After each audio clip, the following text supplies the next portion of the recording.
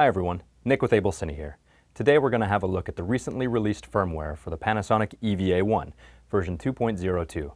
This new firmware adds a number of hotly anticipated features, not the least of which are all-I or intra-frame record modes, a little bit more support for some high frame rate options, including 4K at 120 frames per second, uh, as well as the ability to output raw data utilizing the sensor's native 5.7K resolution or 4K at 60p. So if you're taking advantage of an external recorder like this Atomos Shogun Inferno that I've got up here, you can really take that recording to the next level. We're going to have a look at the process of updating the firmware as well as the menu locations of a few of these features. Now if you haven't done one of these uh, firmware updates before, one of the important things to keep in mind is that if you lose power in the middle of a firmware update, it can be very dangerous for your camera. So I always recommend that you use the AC power supply that came with the camera rather than relying on battery power. Once you've got the firmware downloaded from Panasonic's website, all you need to do is extract it to the root directory of an SD card that you've already formatted in the camera. I'm going to load this in here and then we'll have a look. Once you've loaded the SD card with the firmware update into the camera, you'll press the menu button go into the system settings, down to information, down to update, and then to yes. Provided that you've placed the update file in the root directory of the SD card, it should display your old version of your firmware as well as the version of the firmware of the update that you have on that card. Now you can see mine matches. I've already performed this update, so we're going to skip the process, but all you need to do from here is go up to set and press the button one more time, and it will begin the update process. Again, it's very important that you don't cut power at any point during this process to make sure there's no damage to your camera.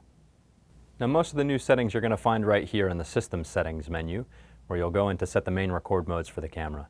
So if we dive into that menu and into System Mode, you'll see that we have all of the same options that we've previously had, as well as the ability to select the main codec of a much higher quality, that all-I or 400 megabit per second uh, compression, compared to the old 422 LongGOP Max of 150. It's a pretty big change.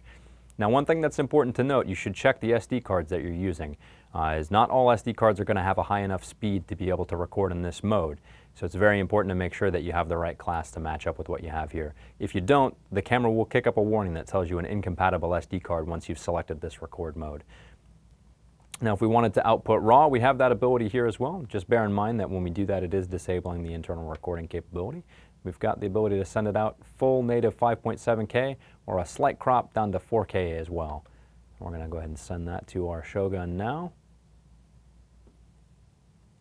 Again, as I mentioned, that locks us out of being able to record any internal codecs as we're using all of that bandwidth to send that information to the external recorder. A brief note on using your external recorder to record the RAW, you're going to want to make sure that that's also on the latest firmware and for an Atomos Shogun Inferno that's going to be 9.0 or later. Remember that when you're sending RAW, you're sending raw data, not an actual video. So if you want to be able to view it in the same V-Log gamma settings that you're used to seeing in the camera, you'll need to load some LUTs that Atomos have made available that will convert that raw data to V-Log with the appropriate color temperature. And keep in mind too, you don't have to record this as data, though Atomos gives you the option to pull that down in a Cinema DNG format or in the new ProRes RAW format, you can also have the recorder convert that to a DNxHR or a ProRes HQ or other compressed format. So that about wraps it up. The new features added by this firmware definitely take this small, compact, run-and-gun capable camera and now make it possible to scale it to just about any level of production. We hope you found this video enjoyable and the content useful. And as always, stay tuned to AbelCine for lots more videos like this. Thanks again for watching, and we'll see you in the next video.